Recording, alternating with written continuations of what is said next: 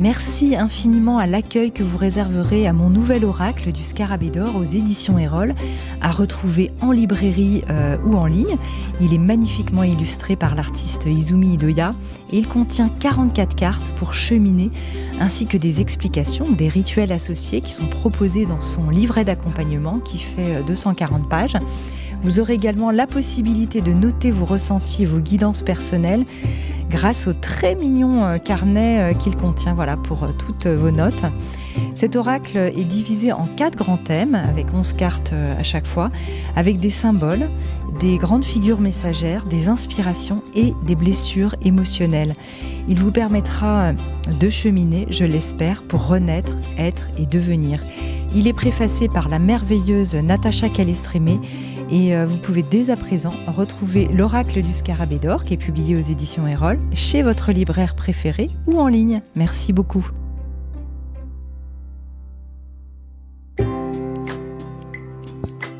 Bonjour et bienvenue dans la série de podcasts Métamorphose, ma santé au naturel. Je suis Anne Guéquer, fondatrice du magazine Féminin Bio, auteure et éditrice de projets engagés pour un nouveau monde. Dans cette série, je suis accompagnée du docteur Jean-Christophe Charrier, médecin généraliste et auteur, formé à la phytothérapie clinique qu'il enseigne en France et à l'étranger depuis 2003. Je vous propose de découvrir en pratique des solutions phyto et naturelles pour notre santé au quotidien. C'est parti Métamorphose, le podcast qui éveille la conscience.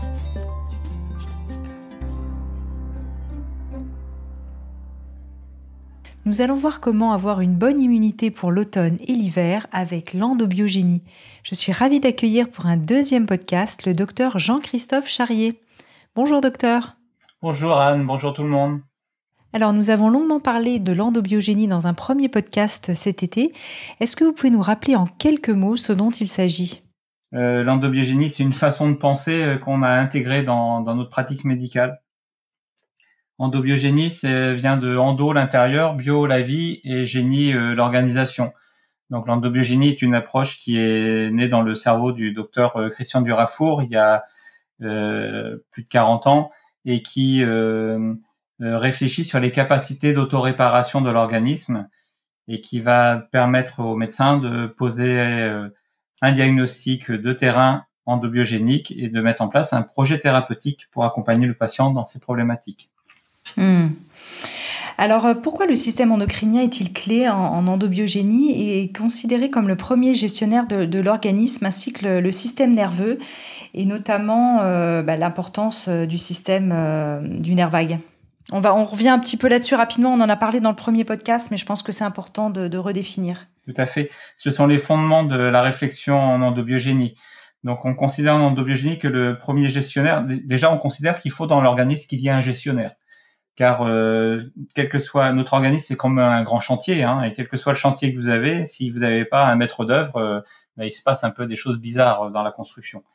Donc, euh, pour avoir un bon gestionnaire en endobiogénie, on pense que celui-ci, c'est le système endocrinien, pour la bonne et simple raison que c'est la première façon qu'ont les cellules pour communiquer entre elles, c'est par le biais d'hormones.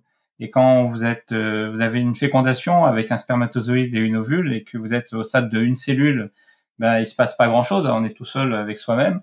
Mais quand vous commencez à vous diviser, vous êtes deux cellules, et ben déjà il faut qu'il commence à y avoir de la, conversation entre ces deux cellules.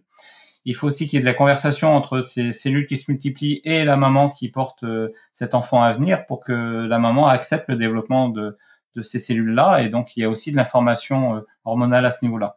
Donc euh, la première information qu'on a eue dans notre vie cellulaire est de l'information de type endocrinienne. Après, il faut attendre euh, la sixième, septième semaine de vie pour que se constitue notre système nerveux, et euh, dans en l'occurrence le système nerveux végétatif, qui est euh, donc le l'aide, on va dire, du système endocrinien pour pour améliorer cette gestion au quotidien et dans la rapidité. Hmm. Car j'aime bien expliquer l'information dans, dans notre organisme comme de façon assez simple, mais le système endocrinien, c'est comme si vous êtes euh, obligé d'écrire une lettre, de mettre euh, euh, cette lettre dans une enveloppe, de mettre une adresse, de mettre dans la boîte postale, qui est le facteur qui vient de la chercher, qui la distribue, qui la, qui l'amène à la personne dont elle est destinée. Cette personne doit ouvrir la lettre, elle doit lire l'information qui est contenue dedans, elle doit faire la mission qui lui est demandée et elle va vous faire un rapport et refaire tout le chemin inverse pour que vous ayez l'information. Donc ça, c'est un temps qui prend du temps. Ça, c'est le fonctionnement un peu comme le système endocrinien. Et le système neurovégétatif, ben, il fonctionne avec la vitesse de l'électricité. Donc, euh, c'est comme si vous preniez euh, là tout simplement votre téléphone et vous composez un numéro et vous avez directement votre interlocuteur qui va assumer sa tâche et vous répondre dans l'immédiateté de la réalisation de sa tâche. Oui. Alors vous parlez de, de, ces déséquilibres euh, apparents du corps qui sont en fait euh, souvent la meilleure stratégie que le corps a trouvée pour répondre en fait euh, et conserver une forme d'homéostasie et d'équilibre quelque part. C'est-à-dire que l'état dans lequel vous, dans l'instant où vous êtes là en ce moment en train d'écouter le, le, le, podcast, et l'état qui vous a permis de vivre jusqu'à maintenant. Euh, que vous soyez en apparence sain ou en apparence malade, euh, c'est le meilleur état que vous avez trouvé pour fonctionner. Et euh, si vous développez donc une maladie, il faut comprendre pourquoi c'est cette maladie-là que vous développez et qu'est-ce qu'elle vous a permis de sauver en amont pour pour pouvoir exister maintenant. Donc, au lieu de vouloir effacer cette maladie, il faut la prendre comme un signe de dysfonctionnalité majeure, mais qui n'a été que la meilleure fonctionnalité trouvée pour vivre jusqu'à maintenant.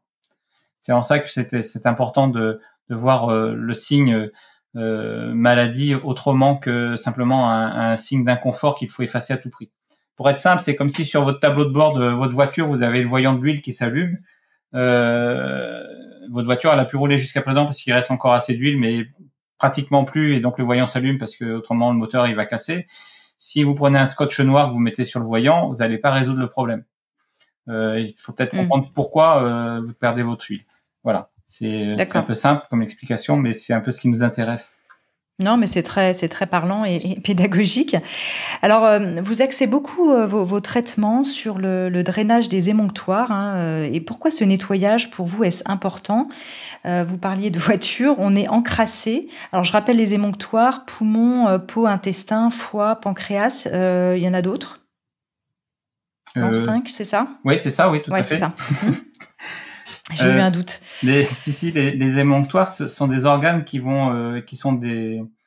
Alors, j'aime pas dire le mot filtre parce que c'est trop passif comme action, mais ce sont des organes euh, sur lesquels vont s'accumuler euh, les toxines et qui ont pour mission d'évacuer ces toxines. le dernier des émonctoires, c'est la peau. C'est-à-dire que quand la peau se manifeste, c'est globalement que les autres émonctoires sont déjà en saturation dans leur capacité d'élimination des toxines. Quand, ça veut pas dire qu'ils n'éliminent pas, mais ça veut dire qu'ils sont saturés dans leur dans leur fonctionnalité. Donc ils ne peuvent pas faire plus que ce qu'ils ne font.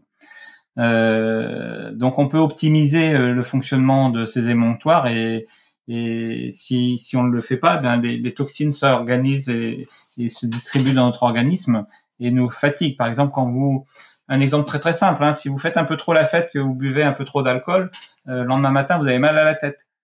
Euh, pourquoi vous avez mal à la tête? Parce que vous avez saturé l'émonctoire foie et qu'il y a les toxines qui sont épurées par le foie qui ne peuvent pas l'être. Et ces toxines, elles vont aller euh, dans votre cerveau euh, euh, et dans votre corps créer de, de l'inconfort, voire une certaine toxicité, et ce qui crée ce mal de tête qu'on peut avoir, qui peut, qui nous dure une journée. en une journée à peu près, le foie a la capacité de se régénérer, et donc le surlendemain, vous avez oublié que vous étiez pas bien du tout après cet état-là. Donc là, on est dans mmh. une agression volontaire, on va dire, parce qu'on était un peu trop festif. Euh, mais euh, dans notre quotidien, on peut manger des aliments qui peuvent venir charger euh, certains de nos émonctoires. Et si on est dans une répétition, euh, ben, l'émonctoire, au bout d'un moment, peut saturer. Et donc, il y a une partie des toxines qui ne peut pas éliminer dans l'instant. Euh, si on fait rien, ben, l'organisme il se débrouille comme il peut, mais on peut parfois accompagner l'organisme pour qu'il optimise l'élimination de ces, ces, toxines par d'autres voies éventuellement, mhm. en mettant les émonctoires en, en relation les uns avec les autres. Alors, on reviendra sur ce qui peut nous permettre euh, de, drainer ces, émonctoires, en tout cas de les, soutenir et de les soulager. Euh, puisqu'on parle de la bonne immunité pour l'automne et l'hiver, qui sont des périodes clés, en plus en ce moment, en ces temps de, pandémie, euh, on est un peu aux abois pour savoir comment finalement avoir un système immunitaire en pleine forme. Et vous vous dites qu'il y a des glandes, des organes comme la thyroïde, le pancréas, les surrénales qui sont particulièrement euh, essentiels et à soutenir à l'approche de l'automne et l'hiver. Alors pourquoi et quel est leur rôle et fonctionnement et comment les aider? Voilà, ça fait beaucoup de questions, hein, mais euh, c'est une grande question. Ah, c'est une grande question. Vous allez tout nous expliquer là. Euh, on, est vivant. Donc si on est vivant, on est obligatoirement adaptable. Si on n'est pas capacité, si, on n'est pas en capacité de s'adapter, eh bien on est quelque chose de figé comme la pierre, par exemple. voilà, et donc ça passe ou ça casse. Donc pour pas casser, il faut être adaptable. on vit dans un milieu qui, qui change tout au long de l'année et on a quatre saisons. ces saisons vont changer ben pour nous sur l'hémisphère nord en habitant en Suisse ou en France ou en Europe pour être simple euh, on va avoir euh, des quatre saisons qui sont assez bien marquées. Euh, et les changements saisonniers vont s'accompagner de diminution ou d'augmentation de la luminosité, de, de modification de la température, de l'humidité ambiante, toutes ces choses-là qu'on connaît très très bien. Oui. Euh, on connaît tellement qu'on oublie qu'elles peuvent avoir une importance sur notre fonctionnement. Or, on est dans l'interface avec cela. Le, il y a deux saisons qui sont assez remarquables et qui sont assez euh, euh, contraignante pour l'organisme, c'est l'automne et le printemps. Et il y a deux saisons qui sont assez euh, euh, sympas pour l'organisme dans la mesure où on est rentré dans une routine de fonctionnement qui sont l'hiver et l'été. Hmm. Mais il y a ces deux moments clés vraiment qui sont plus importants, plus durs à vivre pour l'organisme. Voilà, dans, ces phases adaptatives de changement de, réactivité, c'est vraiment ça, et c'est vraiment en fait le, la, la, variation de la luminosité, du temps de luminosité qui, qui va être le, le pacemaker de cette de cette euh, rythmicité et de, de cette interface. D'accord. Pour vous, quand vous êtes dans ce changement saisonnier, il faut vous adapter et, et on a deux glandes principales d'adaptation qui sont la glande surrénale. La surrénale, elle gère la survie de l'instant à chaque instant, hein, donc euh, à chaque millième de seconde, elle est en action pour vous permettre d'être vivant. Euh, et puis vous avez la glande thyroïde qui elle euh, a plutôt une inertie dans l'adaptation. On est plutôt sur de l'adaptation à la semaine, euh, voire voire au mois, parce qu'en fait dans la thyroïde on a différentes hormones et qui vous avez l'hormone qu'on appelle T3 qui est l'hormone du jour, vous avez l'hormone T4 qui est à peu près l'hormone de la semaine, et puis vous avez ce qu'on appelle la colloïde qui sont ces préhormones thyroïdiennes qui elles ont une influence sur plusieurs mois. Donc voilà, vous avez une, glande qui fait de l'adaptation longue, on va dire, et puis vous avez mmh. qui est la thyroïde, et puis vous avez une, glande la surrénale qui fait l'adaptation immédiate. Euh, dans la surrénale, ce que tout le monde connaît, c'est l'adrénaline. Hein, c'est quand même euh, un élément qui, lorsque vous êtes en voiture et qu'il y a un gamin qui traverse en courant pression ballon devant votre voiture et que vous pilez, euh, ben vous avez un goût métallique qui arrive dans, dans votre bouche, et ça, c'est le goût de l'adrénaline. C'est ce que certains sportifs aiment bien hein, quand ils vont se jeter du haut des montagnes avec leur cap pour euh, planer. Ce sont des gens qui sont accros à l'adrénaline qui font ça. Euh, voilà, donc ça, ce sont deux glandes d'adaptation majeures. Et puis vous avez le pancréas que vous avez cité, qui est vraiment important. Alors attendez, parce que la surrénale, faut quand même pas la sursolliciter parce que si j'en crois euh, notre ami le professeur euh, Bruce Lipton, tout ce qui conditionne la survie coupe en fait le système global de fonctionnement pour se focaliser à un instant T sur, sur la survie qui est prioritaire. Mais si on sursollicite la survie en permanence, on fatigue quand même l'organisme. Alors ça, c'est une très très bonne remarque, bien sûr. la surrénale, quand elle est en sursollicitation, elle va bloquer tout un tas de, mécanismes. Elle va aussi avoir une action de blocage de la réactivité de l'insuline. voilà, on, c'est euh, on peut revenir sur les travaux de Cellier qui sont des années qui datent des années 20 qui est le syndrome général d'adaptation euh, qui est vraiment le fondement de la compréhension du fonctionnement de du stress ce qu'on appelle au sens large le stress c'est ça voilà donc euh, c'est une glande qui alors faut être très simple. C'est une glande qui fabrique plusieurs choses. L'adrénaline j'en ai parlé. C'est dans l'immédiateté. Assez rapidement on a aussi tous les les, corticostéroïdes, hein, donc ce qu'on appelle en médicament de la cortisone, qu'on a synthétisé, dont on a fait le médicament de la cortisone, mais en fait c'est notre organisme qui fabrique euh, ces molécules-là. Euh, si vous mettez des médicaments euh, avec de la cortisone à un patient, ben en fait vous mettez la glande en repos au moment où elle a besoin d'être le plus sollicitée. Hmm. Donc vous risquez de la fragiliser, de l'endormir, et donc c'est pour ça qu'il est toujours très difficile d'enlever les traitements à la cortisone. Donc plutôt que sur une petite angine, des choses comme ça, plutôt que de prendre la cortisone, autant donner des éléments qui vont nourrir votre surrénal pour lui permettre de mieux fabriquer sa propre cortisone et mieux se réguler dans, dans cette fonctionnalité-là. D'accord. Donc euh, euh, ça c'est vraiment euh, c'est vraiment une glande charnière. C'est une glande qui va beaucoup euh, dépendre euh, des fruits, enfin de l'apport en vitamine C, toutes ces choses-là. Euh, qui ça va dépendre. Il y a des plantes majeures qui, qui agissent directement sur la surrénale, comme le cassis par exemple. Et en gémothérapie, euh, je pense que c'est la meilleure formule qu'on puisse avoir pour le soutien des surrénales, c'est d'utiliser le, le cassis euh, en gémothérapie, euh, voire même une synergie entre le cassis et les glantiers qui sont très très bienvenus pour soutenir des surrénales qui sont dans des phases de sursollicitation.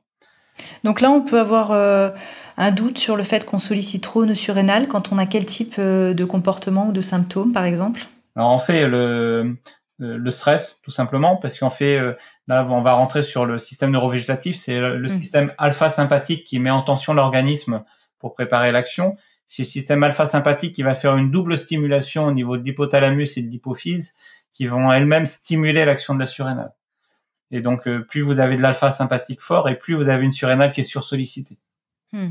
Donc tout ce qui est euh, le stress, le patron qui vous crie dessus, euh, les enfants qui sont en colère en permanence, les caprices, le fait d'avoir trois choses à gérer en même temps, le voilà, le fait d'avoir des traites à payer en fin de mois, le fait d'avoir le voilà tout, tout, tout ce qui nous stresse au quotidien, si si on l'accentue, eh bien, euh, en plus, on s'auto-stresse parce que plus on est stressé, plus on va stresser l'environnement. Donc, plus l'environnement nous stresse. Enfin, bref, ça devient une explosion. C'est un cercle vicieux. Oui. Voilà, c'est ça qu'il faut euh, qu'il faut tempérer avant toute chose pour pouvoir euh, avoir une surrénale qui qui gère bien qui gère bien les autres agressions, celles qu'on maîtrise pas du tout, comme le changement de climat, par exemple.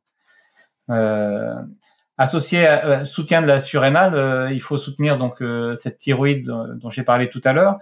Euh, et c'est pour ça vous pouvez euh, mettre des flocons d'avoine et manger des porridge avec des flocons d'avoine par exemple. Euh, l'avoine est une plante qui va bien booster cette thyroïde et lui permettre de s'adapter au changement de temps. c'est un petit déjeuner qu'on peut faire avec des fruits rouges dedans, histoire d'avoir à la fois une action sur les, les surrénales et, et sur la thyroïde avec du lait d'avoine tant qu'à faire, histoire d'optimiser ce porridge là. Et ça c'est vraiment le porridge d'entrée dans l'automne. Euh, qui sera à faire pas pendant tout l'automne, mais dans les semaines où on a des grosses variations euh, climatiques. Et si vous le faites tout le temps, ce sera très bon, euh, vous allez adorer. N'empêche que vous allez perdre le bénéfice informatif que va apporter cette alimentation-là. Oui, on a dit dans ce premier podcast, hein, je, résume que la répétition est importante au niveau des plantes de l'alimentation, mais par contre la sur-répétition, à l'inverse, ne fait pas plus forcément d'effet puisque le corps se dit ça bosse pour moi, j'arrête. Voilà, tout à fait. Et il faut l'adaptation, il faut lui laisser de la place pour qu'elle s'adapte. Hein. donc si vous êtes toujours en suppléance à l'adaptation, euh, elle ne s'adapte pas. Mais il faut euh, c'est dans les fréquences et c'est dans la répétition effectivement qu'il faut jouer et c'est pour ça qu'il faut faire aussi des fenêtres euh, thérapeutiques où on va pas euh, absorber tel type d'aliments dans ces phases-là pour justement qu'on soit en réactivité. Hmm. Savoir se mettre en réactivité. Donc là, le porridge, super euh, au début de l'automne, on fait ça pendant un mois, un mois et demi, et puis ensuite on passe à autre chose. Alors, on fait ça pendant une semaine, quinze jours. Ah oui, si, si court quand voilà, et on fera autre chose la semaine qui suit. Puis si la semaine qui suit ensuite, on a à nouveau une variation de température, on va le refaire ou si euh, on se sent un peu fatigué, euh, euh, on peut refaire une petite semaine avec le porridge. Si on est au boulot, que tout le monde commence à être malade autour de nous et que nous on n'est pas encore atteint, on peut aussi se faire une petite semaine de porridge, ce qui va nous permettre de, de, de passer à travers l'infection commune. Parfait. Voilà.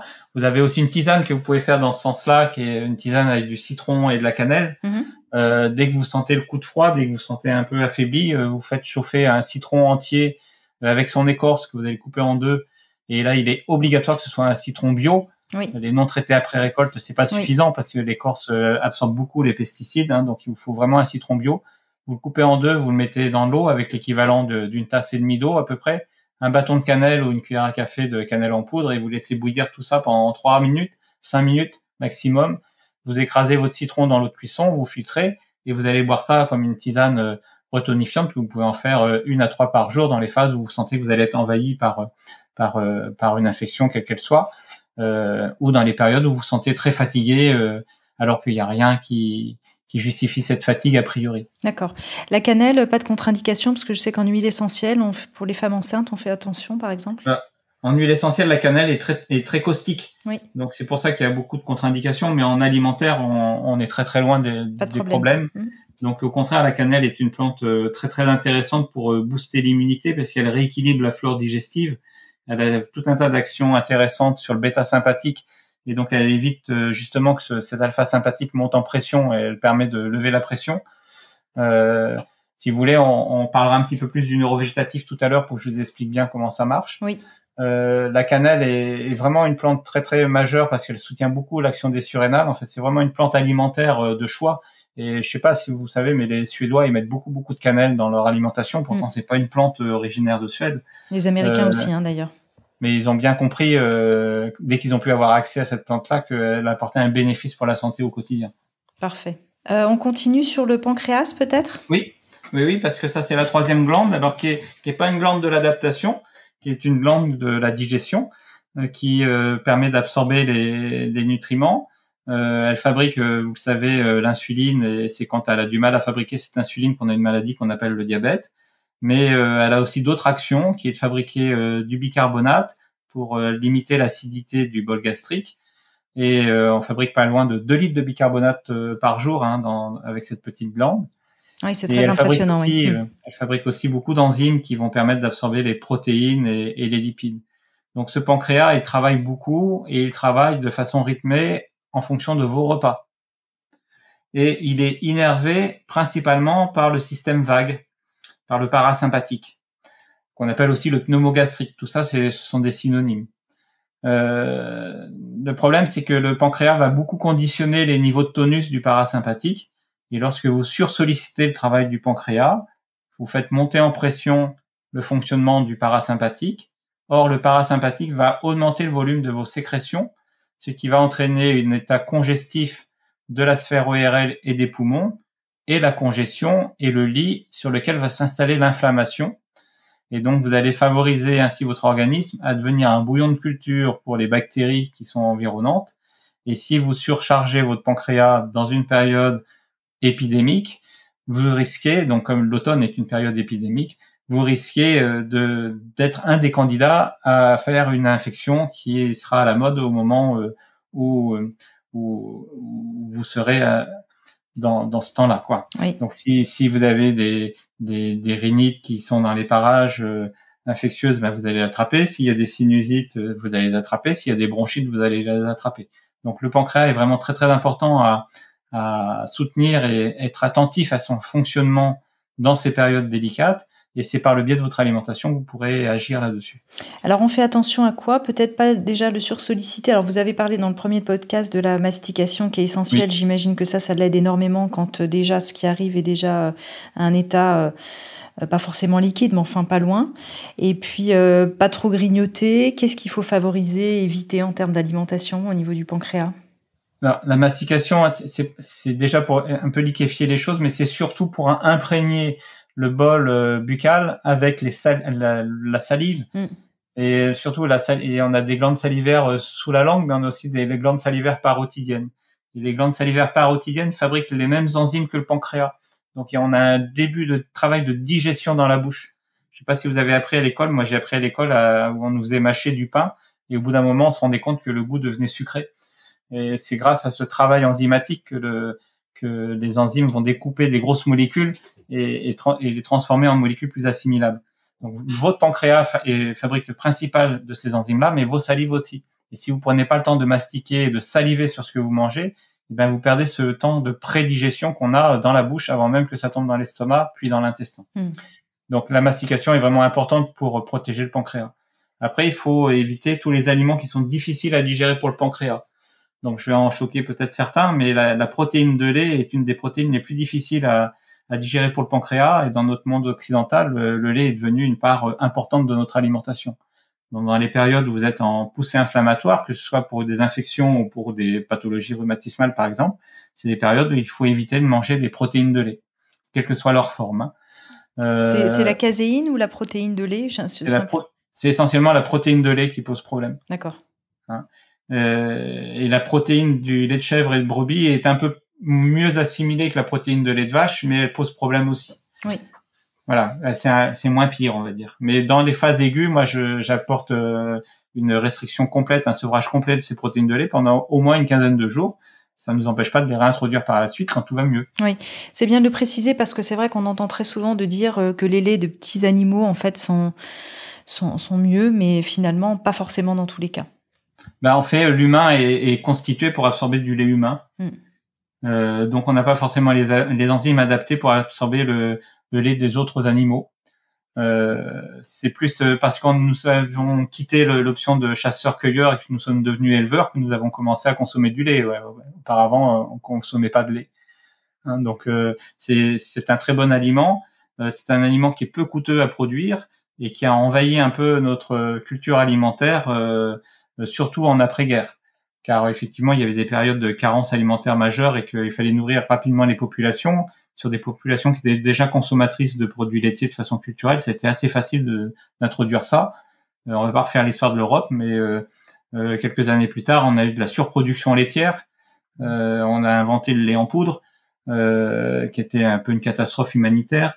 Et puis, on a commencé ensuite à transformer les produits à base de lait pour les rendre plus appétants, pour augmenter le nombre de, de clients.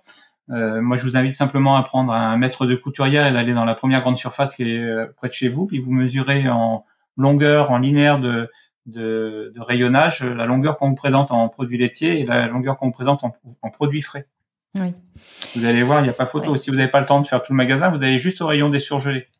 Vous hmm. comptez le nombre de frigos où vous avez le nombre de produits laitiers et vous comptez le nombre de frigos où on vous propose autre chose. Oui, c'est fou. C'est vrai qu'on rappellera jamais assez que, chaque mammifère produit le lait qui convient à son espèce et pour un temps limité, et qu'on n'a pas le même système de digestion qu'une vache qui a trois ou quatre estomacs, je crois, pour pouvoir euh, digérer ce lait. Hein. Et que et que si c'est un aliment qui, qui a sa place, euh, elle a pris en fait c'est un aliment qui a pris trop de place dans notre dans notre culture occidentale et qu'il faut ramener à une place tout à fait raisonnable. Donc moi j'incite mes patients par exemple qui euh, en phase aiguë de supprimer cet aliment-là euh, et dans, dans le quotidien, quand ils n'ont pas de soucis particuliers, c'est de ne pas prendre plus d'une portion de produits laitiers, quelle qu'elle soit, euh, par jour, euh, quel que soit le volume de cette portion. Euh, c'est en temps digestif qu'il faut raisonner. Et puis, je leur dis de faire, quand ils n'ont aucun souci de santé, de ne pas dépasser cinq portions par semaine. Et quand ils ont des soucis de pathologie inflammatoire et qu'ils vont bien, dans les périodes où ils vont bien, de ne pas dépasser trois portions par semaine. D'accord. Ça, c'est intéressant d'avoir ça en tête. Hmm il faut raisonner en portions et en temps digestif. Par exemple, si vous prenez euh, euh, un yaourt le matin, des pâtes avec du gruyère le midi, et puis euh, un morceau de fromage le soir, vous avez trois portions dans la journée. Hmm, c'est beaucoup trop là déjà. Voilà. Si dans le même repas vous mangez dans le même repas vous mangez vos pâtes au gratin, votre yaourt et votre fromage, ça ne fait qu'une portion. Ne fait qu'un temps digestif. Hmm, hmm. Hein. Voilà, c'est comme ça, qu'il faut raisonner. Oui, tout à fait. Ça, c'est très intéressant. C'est vrai que c'est assez méconnu. Voilà. Et c'est un peu difficile à faire comprendre, mais vraiment c'est cette répétition et cette rythmicité qui crée euh, qui crée l'information. Donc euh, euh, le pancréas, il va pouvoir assumer un temps digestif, mais si à chaque fois qu'il doit digérer, il doit assumer une surcharge de travail, au bout d'un moment, il en peut plus, il baisse les bras. Quelles sont les bonnes plantes pour le pancréas? Qu'est-ce qu'il aime bien? Pour, pour qu'est-ce qu'on peut lui proposer pour le soutenir justement ces temps de, début d'automne, d'automne ou début d'hiver? Alors il y a plusieurs, plantes. Euh, il y a. Euh, le plantain qui est intéressant. Il y a l'aigre-moine qui est intéressant. Euh, vous avez les enzymes aussi, tout ce qui est enzymes végétales. Vous avez le kéfir qui peut avoir de l'intérêt également, kéfir de fruits. Vous avez également, suivant ses réactivités par rapport à l'insuline, vous avez le mûrier noir. Vous avez la bardane, qui est une plante majeure euh, pour le pancréas et la peau. Voilà, il y a une multitude de plantes qu'on peut utiliser. La bourrache? Alors la bourrache a une action hormonale qui est pas négligeable, donc euh, c'est pas une plante que je conseille forcément. D'accord. Attention, prudence. Non, parce que quand j'entends bardane, je pensais à bourrache. Mhm. Euh, parce que la bourrache, vous y avez pensé à cause de la peau surtout. Oui, c'est ça. Vous m'avez dit, vous m'avez dit peau, donc je me suis dit, est-ce que c'est bon aussi pour le pancréas, mais pas forcément attention à son effet euh, hormone-like. Ok. Euh, euh, pour la, pour la thyroïde, on en a parlé, les surrénales, on en a parlé aussi. Est-ce qu'il y avait des choses à rajouter sur ces, sur ces glandes et sur ces organes là qu'on a besoin de soutenir en ces temps d'automne-hiver? Eh bien, par exemple, si, si vous n'avez pas de pathologie d'hyperthyroïdie, ça c'est vraiment quelque chose à part. Mais ça, vous le savez en général si vous avez cette maladie-là. Oui. Euh, si vous n'êtes pas dans ce cadre-là, euh, vous pouvez soutenir votre thyroïde, on l'a dit avec le porridge au flocon d'avoine, mais vous avez aussi les algues qui sont bienvenues. Donc euh, vous avez la soupe miso hein, euh, japonaise qui est très très bienvenue et que maintenant on peut trouver assez facilement. Et puis maintenant, euh, même en France, on, on, a de plus en plus de séchoirs à algues sur les îles de Groix, je crois. Enfin, il y a de plus en plus de, de remise en route de cette production-là. Et donc, il est assez facile d'introduire les algues dans votre alimentation. Euh, vous pouvez aussi euh, consommer euh, Euh, alors si pour les auditeurs qui sont en Suisse euh, et pour tous ceux qui sont dans les Alpes, vous manquez beaucoup d'iode euh, dans les Alpes, hein, donc c'est vraiment important d'avoir un enrichissement en iode. C'est une des raisons pour lesquelles le sel en France a toujours un apport en iode supplémentaire, si c'est pas du sel de mer. voilà, donc privilégiez plutôt du sel de mer et vous trouverez même des spécialités maintenant où on vous mélange du sel de mer avec des algues, donc ça c'est idéal à, prendre dans, dans ces périodes-là. D'accord. Euh, les fruits de mer sont bienvenus aussi. Hein, je veux dire, c'est pas pour rien qu'on mange euh, des huîtres l'hiver euh, de façon culturelle. Voilà, consommer des fruits de mer, des palourdes, des choses comme ça de façon régulière. Vous n'avez pas besoin de vous prendre une douzaine d'huîtres à chaque fois. Je veux dire, vous pouvez manger de façon régulière deux, trois huîtres réparties dans, enfin, de temps en temps en entrée dans, dans la semaine, deux, trois fois dans la semaine. Ce sera plus bénéfique que de vous prendre une, une douzaine le dimanche, par exemple. Oui, d'accord. Alors, vous parlez euh, de, personnes qui ont des systèmes nerveux forts et d'autres qui ont plutôt des systèmes nerveux faibles. J'aimerais bien savoir au niveau de ces profils-là, est-ce que c'est deux grandes familles euh, ou peut-être ça varie effectivement dans le temps Comment savoir euh, de quel profil on est? Quelles sont, quelles sont les bonnes stratégies pour ces profils particuliers? Alors, effectivement, ça varie dans le temps. Euh, parce que euh, globalement pour grandir il vous faut du parasympathique. Donc le, le temps de l'enfance c'est un temps important euh, pour le parasympathique. Pour bien vieillir il vous faut améliorer les capacités d'autoréparation. Et donc effectivement quand vous arrivez à l'autre extrémité de l'âge il vous faut aussi une bonne action du parasympathique qui peut être insuffisante alors à ce moment-là mm-hmm. qui va optimiser tout ça le travail du pancréas entre autres. Mais c'est beaucoup plus complexe que ça euh, quand euh, vous êtes dans la nuit, vous êtes aussi dans une réactivité du parasympathique qui va vous permettre de rentrer dans le sommeil. Et euh, j'aime bien dire au sens très très large que le parasympathique, c'est quand même ce qui gère notre tonus de base et donc notre capacité de digestion, que ce soit physique ou psychique. Voilà, ça c'est des temps et, et, le parasympathique est très sollicité aussi à chaque repas. on l'a vu tout à l'heure en parlant du pancréas. Le parasympathique, c'est si, si vous imaginez que votre organisme c'est une cocotte qui est posée sur euh, sur une gazinière, le parasympathique c'est l'intensité du feu qui y a sous la cocotte. Voilà, ça c'est une image qui est assez simple. La cocotte minute, elle va monter en pression. Euh, la montée de pression dans la cocotte minute, c'est l'équivalent de ce qu'on appelle l'alpha sympathique. D'accord. Et cette pression, elle doit monter à un niveau un peu plus fort pour que la soupape se mette à tourner et à siffler. Et ça, c'est l'action du bêta sympathique. Donc notre système nerveux végétatif contient donc deux secteurs, qui le premier est le parasympathique et le deuxième secteur qui est le système orthosympathique que souvent on appelle le sympathique, qui contient lui l'alpha sympathique et le bêta sympathique. D'accord. Donc on va parler beaucoup du parasympathique, de l'alpha sympathique, du bêta sympathique. Le parasympathique c'est le tonus du feu, l'alpha c'est la mise en tension qui prépare l'action, donc c'est la pression qui monte dans la cocotte, et le bêta sympathique c'est une mise en tension ultime qui se détruit par elle-même et qui permet la réalisation des choses. Hmm. Si vous avez un schéma, je le publierai. Pardon? Si vous avez un schéma, je le publierai. Voilà. On peut faire ça. Mais vous avez aussi un autre exemple. Si, si vous voulez, le, le, parasympathique va, va, va sur les sécrétions de, la salive, tout simplement. Oui, d'accord. Le parasympathique va, euh, va stimuler le volume euh, de production de salive euh, et sa fluidité. Alors que l'alpha sympathique va plutôt condenser, concentrer cette, cette salive et, et, la rendre plus, plus compacte. Et le bêta sympathique va permettre d'expulser cette salive. Donc vous avez des gens qui mmh. vont saliver beaucoup et quand on prend de l'âge, on peut avoir souvent la boutonnée quand on va manger. Euh, on se souvient de nos grands-parents qui, qui, qui, ont pu avoir ça. Ou si ça vous concerne, euh, c'est normal d'avoir la boutonnée au moment du repas parce qu'en fait vous avez euh, un parasympathique qui est sursollicité pour pouvoir lutter contre le vieillissement et donc il fait fabriquer trop de, de sécrétions fluides. Vous avez des gens qui sont très très euh, nerveux, très toniques et vous remarquerez parfois qu'ils ont une salive très épaisse et il y a un petit dépôt blanc qui se pose à la commissure des lèvres. Ça c'est vraiment un signe d'alpha sympathique très très fort. Et avec euh, voilà toute cette, cette salive qui est très compacte, très très collée avec la langue qui peut coller au palais, des choses comme ça. Euh, voilà, ce neurovégétatif va conditionner beaucoup de choses dans, dans notre fonctionnement. Ouais, c'est fascinant. Hein, le, tout ce qu'il faut observer euh, potentiellement, c'est euh, ça fait beaucoup d'informations. C'est vrai pour le, médecin, euh, on parle de, de, l'endobiogénie, effectivement, qui est vraiment à l'écoute du patient, qui passe du temps à examiner le malade, etc. Là, il y a vraiment tout ça à prendre en compte. Tout à fait. Par exemple, je, si je suis en face de vous et que je vous regarde un jour frisant au niveau des oreilles, je peux déjà avoir l'état de niveau congestif de votre organisme en voyant le volume de vos parotides. Il y a des gens qui ont une petite voussure sous les oreilles. Ça, ça témoigne de, de qui sont sursollicités. Et si elles sont sursollicitées, c'est parce que le pancréas ne fait pas suffisamment son travail. Donc, on va demander aux petits copains qui font à peu près le même boulot. Et donc, ces glandes salivaires fabriquent des enzymes similaires à celles du pancréas. Et donc, elles vont se mettre en surfonctionnement. Euh, donc vous allez voir euh, tout de suite autour de vous des gens qui ont un tonus fort en parasympathique du fait d'une insuffisance pancréatique, tout simplement.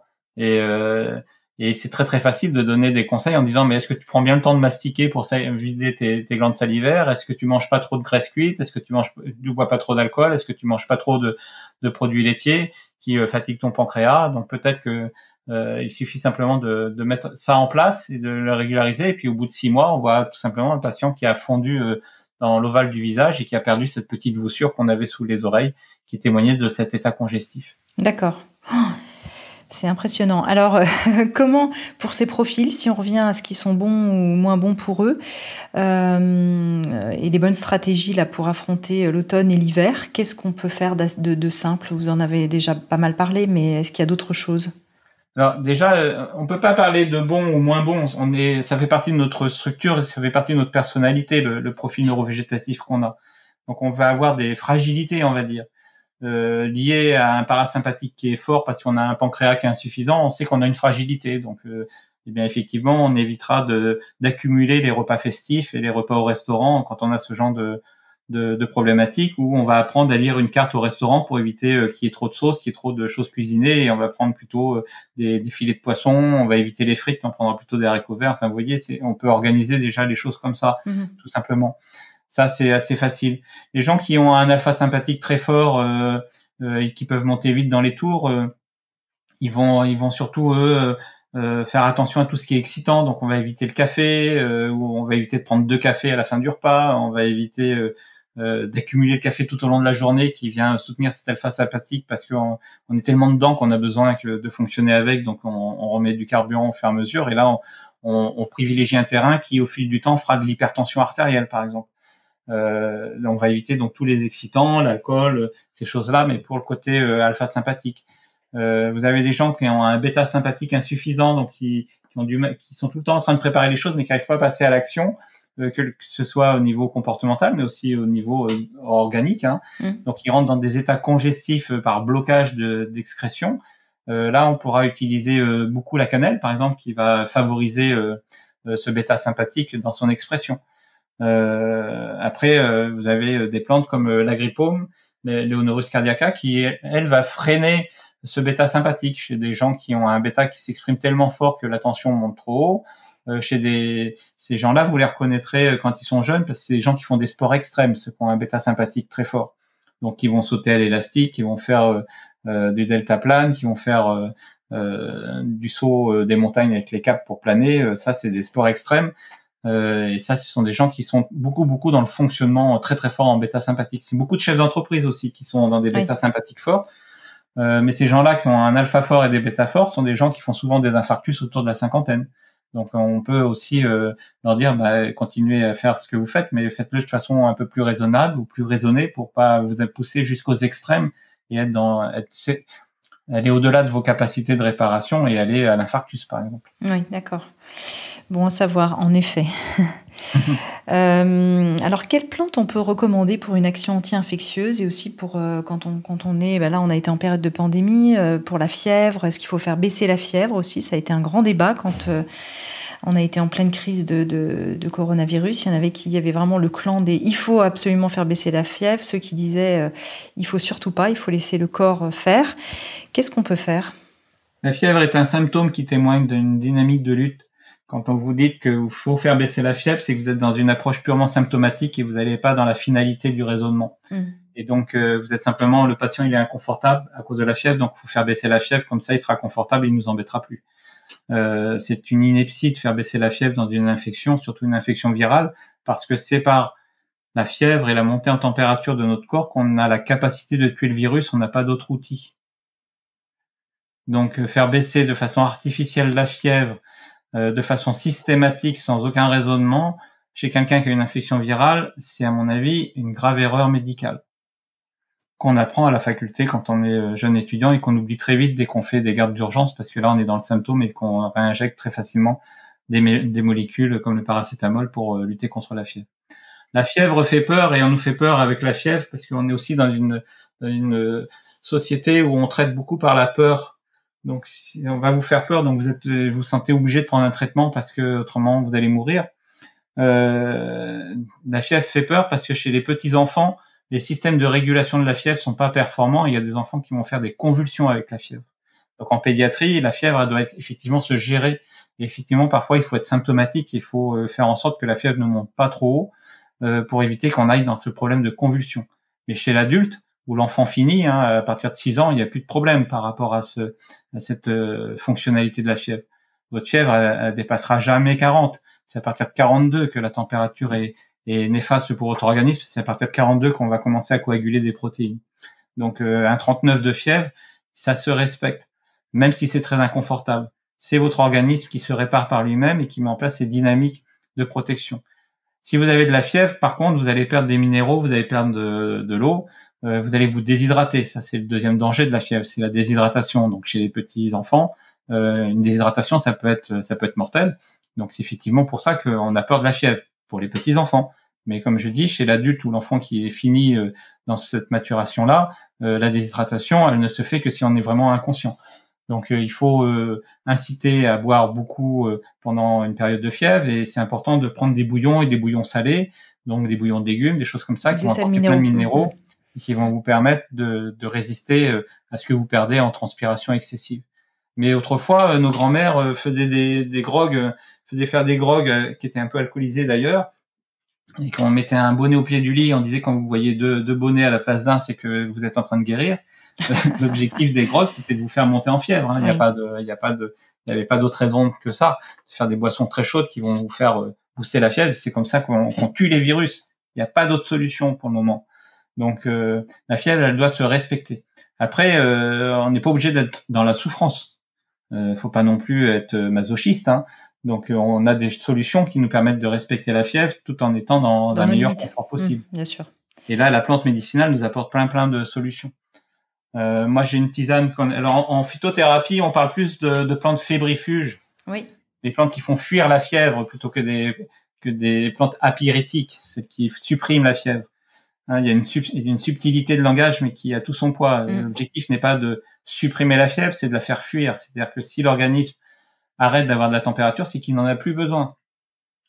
Et donc dans ce cadre-là, il faut, dans une symptomatologie euh, fébrile euh, virale, euh, accompagner l'organisme avec des plantes qui vont l'aider à se défendre mieux contre le virus et donc à optimiser cette fièvre pour qu'on en ait besoin moins longtemps. Par exemple? Alors par exemple, vous avez l'aigre moine et le gingembre, qui sont deux plantes très intéressantes à associer en tisane dans des épisodes de fièvre. Parfait. Voilà. En l'occurrence, euh, un épisode de fièvre, ça dure pas, euh, ça dure pas des mois et des mois normalement. Si ça dure des mois et des mois, là, il y a une autre pathologie. Il faut aller consulter euh, mm. et voir faire un bilan hospitalier pour savoir pourquoi. Mais là, on parle vraiment d'une infection virale ponctuelle qui dure 8 à 10 jours. les épisodes de fièvre vont être intercurrents dans cette période. en l'occurrence, le gingembre pris sur des périodes courtes comme ça n'a pas d'influence sur euh, sur euh, le côté anabolisant dont j'ai pu déjà vous parler. Et euh, même si vous avez un terrain cancérinique de façon ponctuelle, c'est pas un problème de faire une tisane avec du gingembre. C'est là on est encore sur la dynamique de répétition, hein, donc c'est pas une erreur de ma part de vous prescrire cette tisane là sans recommandation particulière. C'est relativement ouvert à tout le monde de prendre de, de l'aigre moine et du gingembre associé. Vous prenez une cuillère à soupe d'aigre moine bombé que vous mettez dans de l'eau, vous laissez infuser au moins 12 minutes, hein, c'est fondamental euh, parce que c'est pas une tisane d'agrément, c'est vraiment une tisane médicinale, donc il vous faut au moins 12 minutes, voire 15 minutes, mais après on a de plus en plus de principes amers, c'est moins facile à boire. Et sous forme d'infusion, hein, pas de décoction. Hein. Sous forme d'infusion, mm. et puis vous rajoutez dedans, euh, euh, donc euh, avec votre votre feuille de d'aigre-moine, vous rajoutez à peu près un centimètre de racines de gingembre frais. maintenant on en trouve assez facilement, que vous allez couper en petits morceaux et vous faites infuser tout ça, voire éventuellement vous pouvez euh, lancer une décoction, c'est-à-dire vous pouvez mettre tout ça sur dans l'eau froide, porter à ébullition, éteindre tout de suite la, la casserole et, et laisser infuser 12 euh, minutes à couvert. Vous filtrez, c'est à boire tout au long de la journée. Très bien. Ça c'est une tisane qui marche très très bien, qui va vous accompagner. Et le moine est une plante, pour ceux qui, qui s'y connaissent un petit peu euh, ou qui sont intéressés, je vous invite à aller étudier cette plante-là parce que c'est une plante qui a des propriétés très remarquables euh, sur lesquelles il faut faire attention vraiment au dosage qu'on utilise, car il y a des effets pharmacologiques qui peuvent être inversés sur des très hauts dosages. Mais en phytothérapie clinique, on reste sur des dosages physiologiques. Hein, donc la tisane, telle que je vous l'ai dit, vous n'êtes pas dans un problème de, de très haut dosage. Vous avez beaucoup de plantes comme ça qui ont des actions inverses en fonction de la quantité qu'on prend. Oui. plus on devient symptomatique et plus on va à l'envers de ce qu'on parfois on recherche. Et ça, c'est un problème des, des novices en phytothérapie plus souvent. Oui, on a dit que dans le premier podcast, on fait attention à l'usage sauvage hein, des plantes. On va plutôt vers une phytothérapie euh, clinique. Important ça à retenir. On arrive à la fin de ce podcast. J'ai encore deux questions. En cas de recrudescence de la Covid-19, qu'est-ce qu'on peut prendre euh, une fois qu'on a euh, déclaré, on est au début de la maladie? Quelques astuces peut-être là-dessus. Alors, il y a quel que soit le virus, hein, avant même de savoir si c'est un Covid ou pas, de toute manière, vous avez une, une, une agression virale qui se traduit par euh, des grands frissons, un grand, un grand coup d'abattement et des, des, courbatures, des douleurs un peu partout dans le corps, euh, qu'on appelle communément le coup de froid.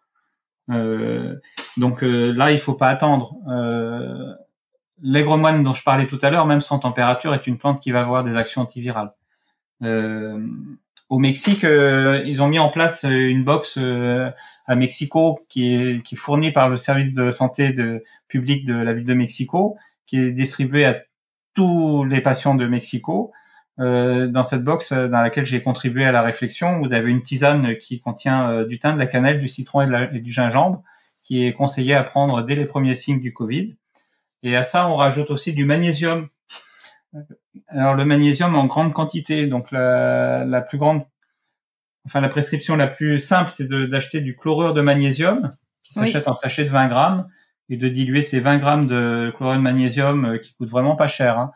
Euh, quand on va diluer ça dans, dans un litre d'eau, euh, d'une eau faiblement minéralisée, type euh, Monroucou par exemple, mm. euh, ou une eau filtrée. Et de ce litre de chlorure de magnésium, vous allez boire sur un premier jour d'une infestation, vous pouvez boire jusqu'à trois verres dans la journée. Et dès le deuxième jour, vous allez passer à deux verres pendant un jour ou deux. Euh, souvent, ça, ça, ça, casse la charge virale. C'est très très important. Euh, c'est un gros effet, euh, on va dire indésirable, c'est que ça va vous donner des sels liquides qui sont des fausses diarrhées. Donc, faut pas s'inquiéter, c'est normal d'avoir des sels liquides quand vous prenez du chlorure de magnésium. Ça fait partie aussi des actions de drainage un peu drastiques de ce chlorure de magnésium, qui fait partie de ses propriétés thérapeutiques également. Alors, on peut l'acheter en pharmacie, on peut aussi acheter du sel de Nigaria en magasin bio, c'est la même chose? Voilà, c'est assez proche, tout à fait, tout à fait. Euh, alors c'est vrai que moi j'ai un travers, c'est que je prescris que pratiquement que les choses qu'on trouve en pharmacie, mais effectivement euh, on trouve maintenant beaucoup plus souvent de plus facilement des ces celles-là euh, euh, qui sont d'origine japonaise si je mm. m'abuse en, en, boutique bio et qui sont très très bienvenues. Il faut savoir que à l'époque de la polio, avant les traitements de la polio, il y avait le traitement de la polio se faisait dès le début par des grandes charges de magnésium. Hein. Et les gens qui prenaient ça dès le, les débuts de l'infestation euh, passaient la maladie avec quasiment pas de séquelles. Parfait. Donc ça, on est on est paré euh, sur euh, une recrudescence de, du Covid. On peut prendre euh, les. La, le, Vous prenez tout ça. Vous pouvez penser à prendre le, votre porridge de flocons d'avoine à ce moment-là. Ça sera bienvenu. même en prévention, prenez voire en prévention un litre des moine en tisane tous les jours pendant toute la période virale. Mettez des huiles essentielles de Ravenzara, Ravinzara, Camphorea. Pas confondre avec le Ravenzara. Oui, absolument. Merci pour la précision. Hein. Oui. Donc, le Ravinzara Camphorea, qui est un Cinanomum Camphorea, qui est une plante que on prendra essentiellement les huiles essentielles qui, qui viennent de Madagascar, car elles ne contiennent pas de camphre, contrairement au nom. Et ce sont des huiles essentielles qui euh, qu'on va mettre en, en sur nos vêtements, euh, sur notre écharpe, euh, qu'on va donc inhaler euh, toute la journée, qu'on peut mettre dans un mouchoir et, respirer régulièrement dans la journée quand on a rencontré des, personnes. Vous allez avoir en plus une action, euh, c'est une des plantes les plus antivirales qui soit. Il y en a plein d'autres, mais celle-là est intéressante vraiment pour la protection de votre environnement et pour les gestes barrières. voilà, là, c'est celle que je conseille en priorité. On peut pas en mettre sur les poignets? Vous pouvez en mettre sur les poignets, sur la peau des talons, sur des peaux un peu épaisses. Là, c'est pour déjà avoir une action générale et interne. Euh, euh, c'est des choses qu'on peut faire si vous commencez à être malade. Mais en prévention, c'est pas la peine d'en mettre sur la peau. Hein, N'allez pas euh, aller chercher des allergies ou des choses comme ça, parce qu'on peut toujours être sensible à des allergies avec des huiles essentielles. Mais mettez-le, remplacez votre Chanel par la, le Ravin Zara et ça sera beaucoup plus efficace. et l'odeur est loin d'être désagréable. Parfait. Vous savez que si vous avez le nez bouché, euh, vous êtes très congestionné du nez, vous mettez une goutte sur un mouchoir et vous allez respirer ça, euh, ça va vous déboucher le nez tout de suite. Hein. Très si bien. vous endormez avec une sinusite, vous mettez quelques gouttes sur votre oreiller, le lendemain matin, vous avez dégagé vos sinus. Hein. Bon, là, on va être paré euh, pour l'hiver. Hein. C'est Bah, génial. êtes paré. Manger du radis noir, c'est fondamental aussi. Euh, on peut en trouver un peu en toute saison. Euh, le radis noir est très très bienvenu dans ces périodes. euh, surtout, c'est des- on rentre dans l'hiver, donc on rentre dans de la surcharge alimentaire obligatoirement, même si on fait attention. Donc le radis noir a quand même un petit côté euh, drainant euh, par rapport au, au foie et au pancréas et à l'intestin. Là, quand vous dites on en mange, c'est-à-dire deux, trois fois par semaine en entrée, par exemple Oui. C'est bien Tout à fait. Puisqu'on parlait de portions euh, tout à l'heure. Voilà, vous pouvez le râper et le mélanger des carottes râpées. Hein, euh, Oui. Pour ceux qui aiment pas trop le radis noir comme ça tout seul, euh, mélanger des carottes râpées, ça passe très bien. Ou avec une pomme râpée, ça passe très bien aussi. Ou de la betterave crue. Ou de la betterave crue, bien sûr, tout à fait. Voilà. Faut être Puisqu'on aime bien la betterave, on en parlait aussi euh, ultérieurement. Voilà. Alors, est-ce que vous avez d'autres idées, par exemple, de tisane euh, anti-infectieuse? Moi, c'est vrai que je suis très tisane, j'adore ça, et je trouve que c'est une manière simple, euh, euh, très facile de, de- de consommer des plantes à la portée de tous. Qu'est-ce qu'on pourrait conseiller, docteur Charrier? Alors, il y a, il y a- en fait, il y a deux tisanes que, que j'ai même pas besoin de conseiller parce que c'est d'usage courant dans beaucoup de familles où on utilise le thym ou le romarin euh, sans, sans se poser de questions par rapport aux problèmes infectieux. Euh, J'aime bien prendre cet exemple parce que effectivement, c'est deux plantes très très intéressantes en tisane anti-infectieuse. Or, elles ont des effets euh, euh, endocriniens différents, enfin neurovégétatifs surtout euh, différents. Et euh, c'est en ce sens que je, je vais prendre un peu cet exemple pour vous montrer la complexité qu'on peut avoir dans l'usage des plantes et en quoi le raisonnement endobiogénique apporte de la puissance à la thérapeutique. Oui, tout à fait. Euh, le thym est une plante puissamment anti, euh, anti-infectieuse, mais qui a une action très très forte pour euh, freiner le système parasympathique. Euh, le romarin est une plante puissamment anti-infectieuse, mais qui a une action euh, euh, neurovégétative très forte pour stimuler le système parasympathique. Donc vous voyez là, vous avez deux plantes qui sont identiques au niveau symptomatique et qui ont des actions complètement opposées au niveau neurovégétatif. Comme on sait que le système parasympathique euh, régule la tension artérielle et évite de monter en hypertension artérielle, chez les patients qui sont hypertendus ou qui ont une tendance à être hypertendus, eh bien, on va éviter de prendre des infusions de thym. Et on va privilégier plutôt le romarin qui protégera sur ce terrain d'hypertension. D'accord. Et réciproquement, les gens qui ont plutôt des tendances à faire des malaises euh, d'hypotension, euh, eh bien, on prendra plutôt du thym pour ces personnes-là, plutôt que le romarin. Et puis, euh, si on n'a pas ces problèmes de santé, mais qu'on veut simplement se mettre en chronologie par rapport à la journée, euh, le matin, euh, surtout si vous avez du mal à sortir du lit, s'il vous faut euh, plus d'une demi-heure avant d'adresser la première parole à votre entourage, euh, si vous êtes un peu ronchon, si vous mettez votre réveil à sonner dix fois pour sortir du lit, euh, ben le matin, qui est infection ou pas d'ailleurs, ça peut être intéressant de boire une infusion de thym parce que c'est votre parasympathique qui vous maintient dans la nuit et qui vous empêche d'être dans, dans la dynamique d'éveil. Donc si vous prenez une infusion de romarin, par exemple, le matin, alors que vous êtes dans ce terrain-là, vous allez aggraver ce terrain-là. Donc Ah, ça, c'est très bon à ça savoir, sera ça. le thym qui Mm. sera bienvenu. Moi, il me faut donc Euh, du si thym. par contre le soir vous avez tendance à faire des insomnies, à avoir du mal à vous endormir parce que vous avez épuisé votre parasympathique toute la journée avec ces luttes avec l'alpha sympathique et que vous n'avez pas assez de parasympathique pour entrer dans le sommeil, eh ben euh, en période infectieuse, euh, le romarin sera très très bienvenu en tisane du soir. À la fois ça va vous soigner l'infection, mais en même temps ça va vous aider à rentrer plus facilement dans le sommeil. D'accord. Donc romarin le matin pour ceux qui sont du matin et, euh, et thym le matin pour ceux qui ne sont pas du matin. Grosso modo, là, enfin Voilà. en tout cas sur la fin de votre euh, explication. Tout à fait. Parfait. Bah écoutez, c'est très clair. Merci pour, euh, pour ces précisions. Est-ce qu'on peut euh, terminer, euh, docteur Charrier, sur l'argile, puisque vous êtes aussi un spécialiste de l'argile? Est-ce que c'est important de faire des cures d'argile, euh, justement en période soit de pandémie, soit à l'approche de l'hiver et de l'automne, pas que en période de pandémie? Pour euh, bah, remettre un peu les compteurs à zéro. Alors j'ai fait un, un podcast complet avec Jade Allègre sur l'argile, comme vous le savez. Mhm. Mais euh, vous, quelles seraient vos, vos préconisations sur le sujet? Déjà en termes de, de galénique, est-ce qu'il faut prendre toute l'argile euh, ou est-ce qu'on la laisse poser toute une nuit Alors vous savez que Jade Allègre, elle dit qu'il faut prendre toute l'argile, sinon c'est une fumisterie. Hein. Elle Oui. est- voilà, elle est très claire elle là-dessus. Je suis pas forcément d'accord avec avec Jade, euh, Mm. mais euh, euh, sur ce point-là, tout dépend ce qu'on veut faire.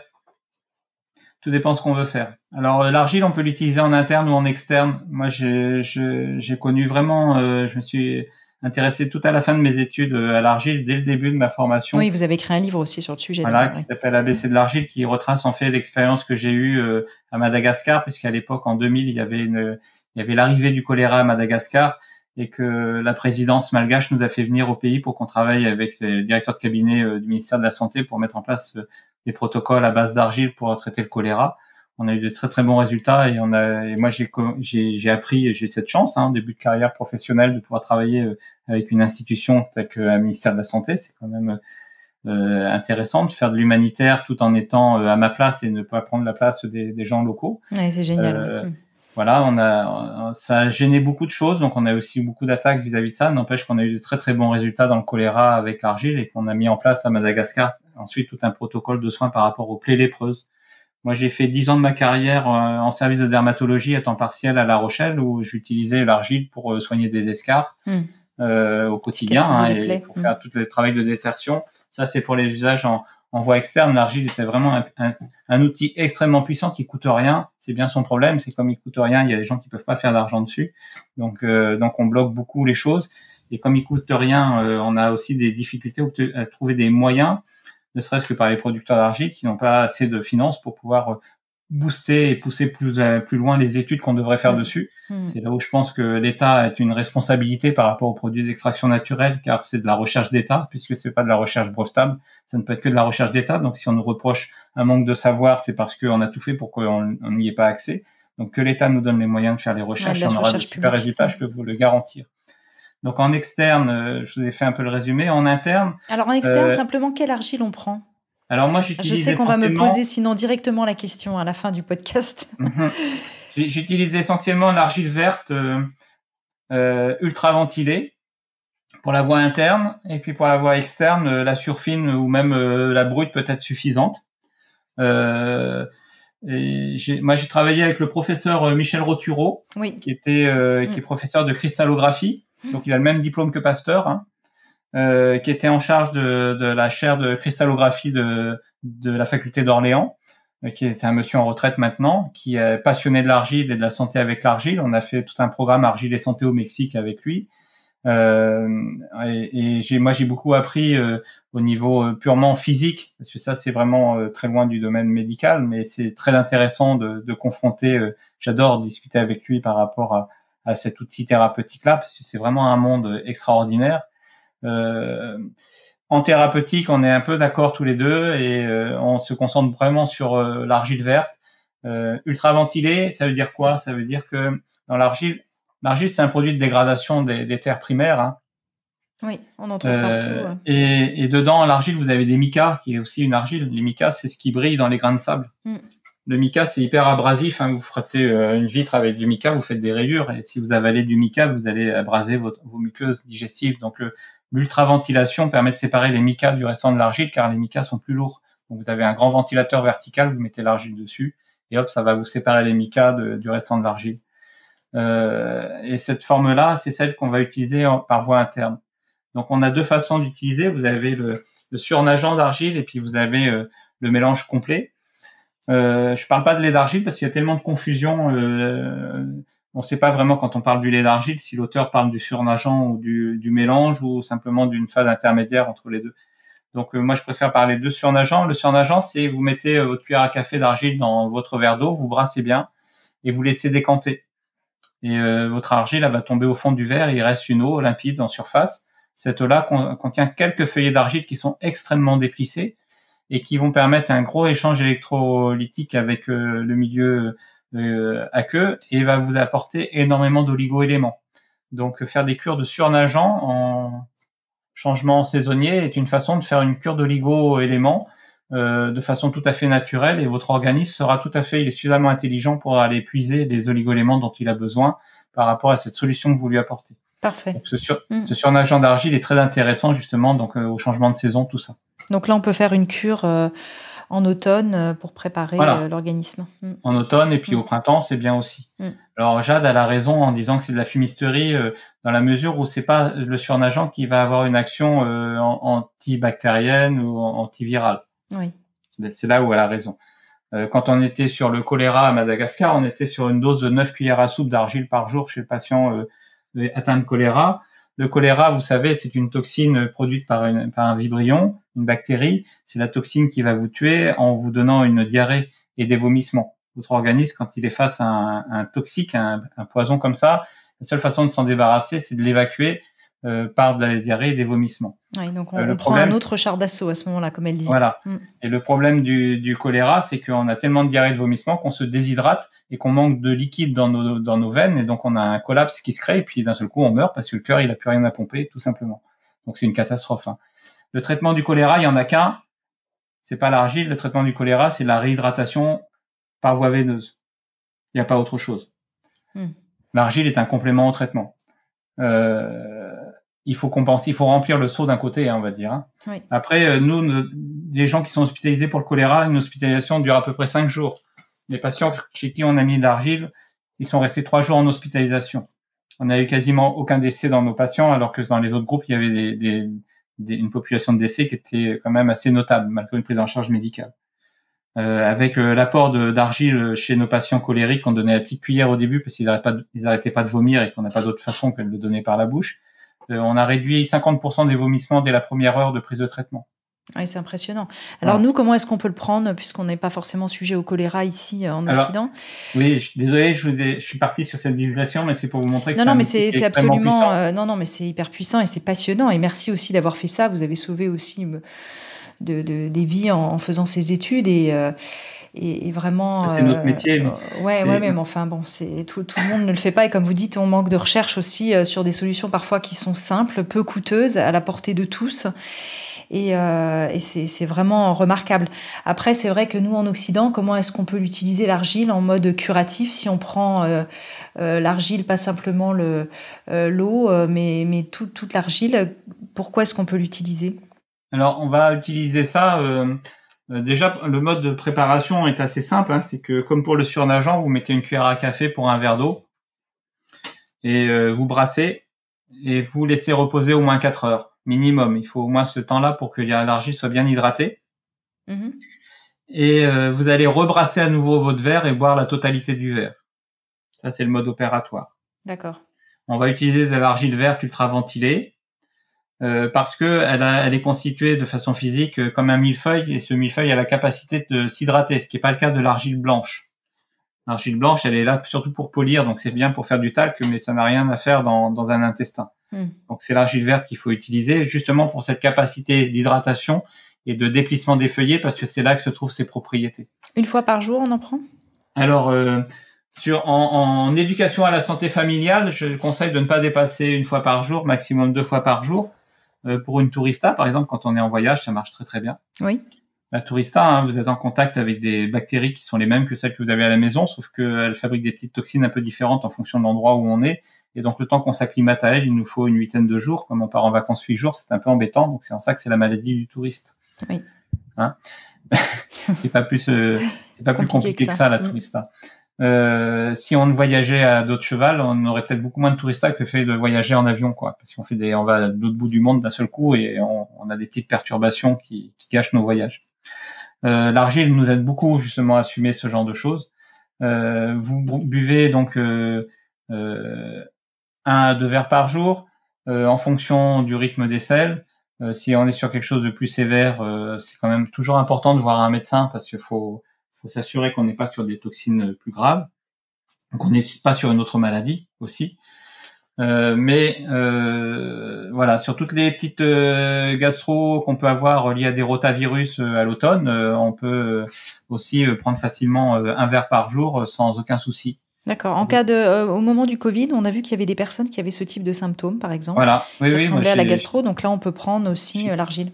Tout à fait. J'ai quelques patients qui ont, qui, à qui j'ai donné de l'argile parce qu'ils ont eu une symptomatologie très digestive et on a vu très nettement une efficacité sur leur confort de vie à ce moment-là. D'accord. Euh, l'argile a, plein plein de propriétés euh, anti-inflammatoires euh, sur la, la, muqueuse digestive. Elle a des modifications de pH à ce niveau-là. Ça modifie les perméabilités digestives. Ça a des effets cicatrisants. Ça a des effets de captation, d'absorption comme on dit mmh. avec un D. Euh, c'est voilà, c'est, ça fait partie de toute cette capacité qu'a cet outil thérapeutique qu'il faut bien utiliser. Après, vous avez de l'argile qui est de l'argile médicament. Alors, on va pas dire de marque, mais euh, si vous devez voir de quoi je parle. Oui. Ces, ces argiles médicaments, on en a fait des médicaments. On peut dire des marques, hein. moi, je, moi ça me gêne pas en tout cas dans, dans le podcast, on n'a pas la même règle qu'en télévision, donc allez-y. D'accord, ben vous avez le Smecta par exemple, qui est une smectite, hein, mm. euh, qui, qui, qui, est une, qui est un très très bon médicament, euh, qui est fait à base d'argile, euh, dont on a rajouté des produits malheureusement pour qu'il ait un bon goût. Donc maintenant ils ont mis. oui, c'est dommage. Voilà, c'est un peu dommage parce qu'on rajoute un peu de chimie dans du naturel, mais bon, ça fait plus médicament comme ça. Euh, mais si on en a, si on en a fait une pétition pour un Smecta sans, sans voilà. si on en a fait un médicament, c'est qu'on rentre dans les règles d'hygiène du médicament. Et donc, il faut zéro bactérie dans un médicament. Mm. Et donc, euh, euh, dans votre argile que vous utilisez ultra ventilée, qu'à sécher au soleil, euh, vous avez forcément des bactéries, mais c'est pas des bactéries méchantes, hein, c'est les mêmes que celles qu'on a dans nos légumes qu'on achète au marché. donc, il y a aucun souci. en plus, vous allez l'acheter chez un pharmacien ou dans une boutique diététique. C'est des argiles qui ont été contrôlées et qui ont. Je vous parlais du professeur Oturo, mais il y a un contrôle qui, qui est essentiel, qui est, l'examen au microscope électronique euh, et ça, il faut impérativement que ces argiles aient été testées au microscope électronique pour être sûr qu'il n'y ait pas des polluants dedans. Mmh, notamment des métaux lourds. Voilà. Donc euh, ces argiles-là que, que vous allez trouver en, en, boutique spécialisée ou en pharmacie, elles sont, elles sont correctes pour euh, cet usage interne.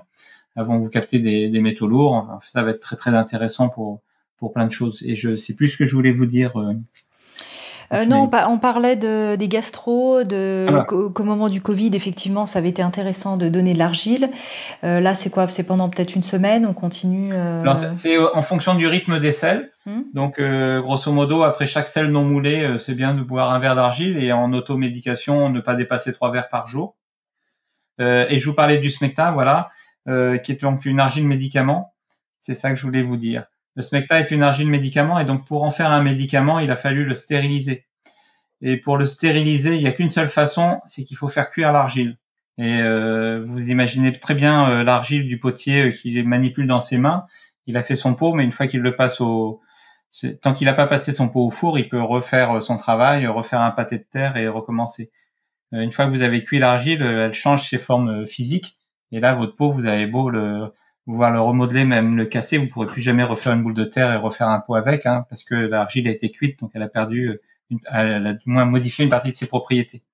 Donc le Smecta est un super médicament dans la mesure où c'est un médicament d'extraction naturelle qui a été transformé par la cuisson et qui a surtout un effet leste euh, intéressant pour tout ce qui est euh, infection digestive, gastro et choses comme ça, euh, et qui marche très très bien.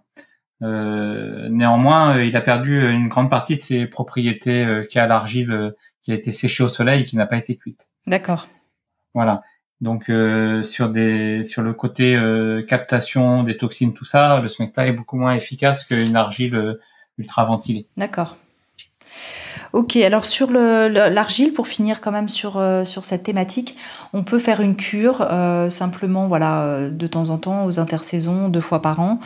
Euh, de combien de temps on peut en prendre euh, donc une fois par jour pendant par exemple une semaine si on, une semaine si on veut réparer la paroi intestinale ou avoir un effet euh, remise un peu à zéro des compteurs au niveau de, de la sphère digestive Alors si vous voulez faire vraiment une, une détoxification de, de, votre organisme, c'est bien de prendre la totalité du verre d'argile. Mm. et là, vous pouvez faire une cure d'un verre par jour pendant une semaine. Euh, si vous, votre objectif c'est d'aller chercher des oligo-éléments, ben, vous allez plutôt prendre le surnageant et là vous allez faire une cure d'un verre par jour euh, pendant trois semaines. Si votre objectif c'est d'accompagner des soins dentaires où on risque de libérer des métaux lourds, euh, là vous pouvez prendre un verre d'argile complet avant le soin dentaire et après le soin dentaire. Dès que vous êtes chez vous, hein, vous n'êtes pas obligé de vous précipiter sur votre verre d'argile, mais au moins dans, dans, dans ces temps-là. il faut savoir quand même que euh, si vous avez une tendance à être constipé, l'argile peut euh, aggraver cette tendance. Oui. Euh, donc c'est important de boire beaucoup quand vous prenez de l'argile. Il euh, faut savoir que hum, si vous êtes constipé, que vous prenez de l'huile de ricin et que vous prenez de l'argile, c'est une grave erreur parce que l'huile de ricin avec l'argile va transformer l'argile en pierre.